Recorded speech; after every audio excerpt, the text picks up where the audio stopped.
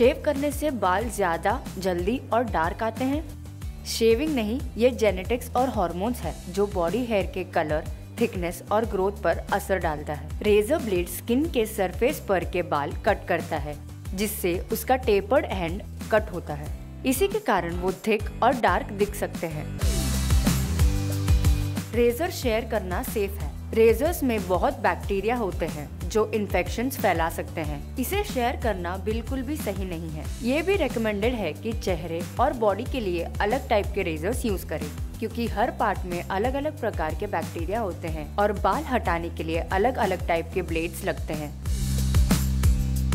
शेव करने के डायरेक्शन से फ़र्क नहीं पड़ता। ग्रोथ के डायरेक्शन में शेव करने से इनग्रोन हेयर के चांसेस कम होते हैं। हालाँकि बाल स्किन के एकदम करीब कट नहीं होते। अगर आपको क्लोज शेव चाहिए तो आप पहले ग्रोथ की डायरेक्शन में शेव करें और फिर ऑपोजिट डायरेक्शन में।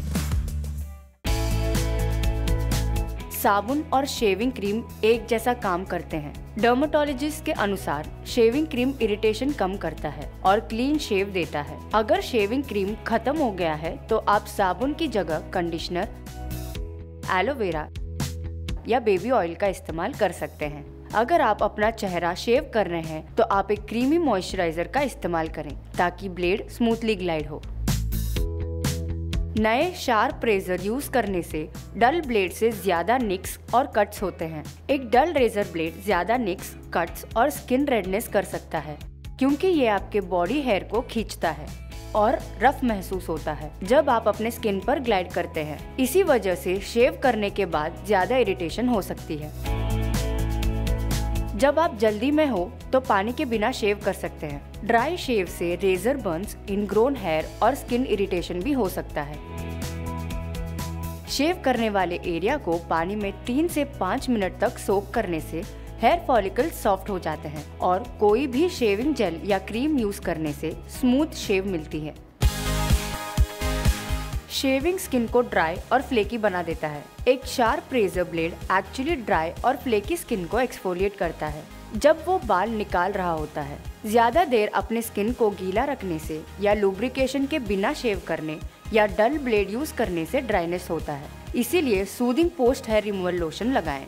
अपने चेहरे या बॉडी पर जैसे फज इससे स्किन हाइड्रेट होती है और रेडनेस बम्प्स या इनग्रोथ्स नहीं होते। शेविंग से स्किन डार्क हो जाती है। केवल शेविंग से स्किन डार्क नहीं होती, पर गलत टेक्निक इस्तेमाल करने से, जैसे ड्राई शेविंग या आफ्टर केयर स्किप करने से इनग्रोन हेयर आती है, जिससे पिगमेंटेशन हो सकता है। इसीलिए सही तरीके अपनाएँ और टेंशन फ्री रहें। शेविंग के लिए प्रिपरेशन की ज़रूरत नहीं है। हालाँकि हम चाहते हैं ऐसा ना हो, पर शेविंग करने से पहले एक्सफोलिएट करने से बाल लूज होते हैं। और इनग्रोन हेयर नहीं आते। आप ये आसान स्क्रब लगा सकते हैं, जिसके लिए आपको ज़रूरत है सिर्फ़ कॉफ़ी पाउडर और शहद की। अपने बॉडी पर स्क्रब करें स्मूथ शेव पाने के लिए। आप एक रेजर को कई महीने यूज़ कर सकते हैं। आपको हर पाँच से सात शेव्स के बाद रेजर बदल देना चाहिए, खासकर अगर वो गीले शावर एरियाज़ में रखते हो तो। लंबे समय तक चलाने के लिए ब्लेड्स पर वैसलिन की एक थिन लेयर लगाएँ। इस्तेमाल करने के बाद आप ब्लेड रिफिल करने वाले रेजर्स भी खरीद सकते हैं और चेंज करते रह सकते हैं डिस्पोजेबल रेजर्स की जगह हम आशा करते हैं आपको शेविंग करने के प्रोसेस को समझने में आसानी हुई हो सब्सक्राइब करना ना भूलें और बेल आइकन दबाएँ। Until next time stay tuned and stay glamorous.